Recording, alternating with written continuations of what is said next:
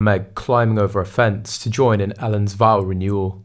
It comes after Prince Harry and Meghan Markle have been filmed celebrating with A-list neighbour Ellen DeGeneres at a star-studded event in the US. Ellen's wife of 14 years, Portia de Rossi, turned 50 on Tuesday and the couple held a party at their new $70 million mansion in Montecito.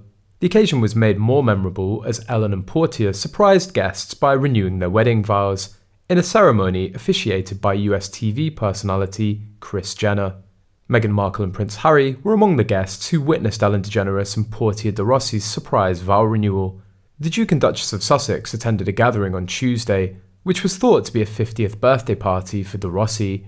However, the celebration turned into a vow renewal ceremony for DeGeneres and de Rossi, officiated by Kris Jenner, at their new home, where the couple moved in last week. However, George Clooney posted a shocking clip of Meghan and Harry climbing the fence to break into Ellen's house and attended their Ellen and Portia's vow renewal.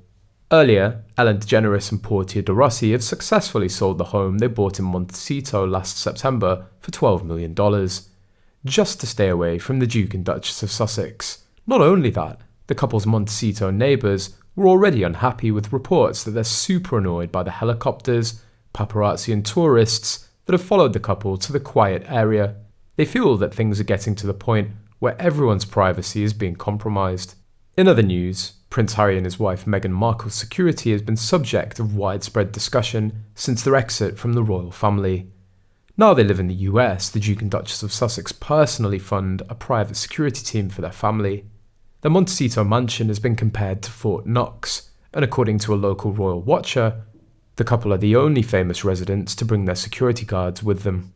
Richard Mineards, a former royal reporter and Montecito resident, has claimed other celebrities in the exclusive enclave do not use the same level of security. The journalist appeared on an episode of Hello's, a Right Royal podcast, earlier this month. He said, What's very odd, I might say, is that there are very important people, very rich people in Montecito, but no one has security guards with them, except from what I've seen, Harry and Meghan. Every time he goes anywhere in his Range Rover, he's normally followed by three or four security men. I don't know how necessary that is. The podcast's co host, Andrea Caamano, added, I think he's used to it. He would probably feel bare without them.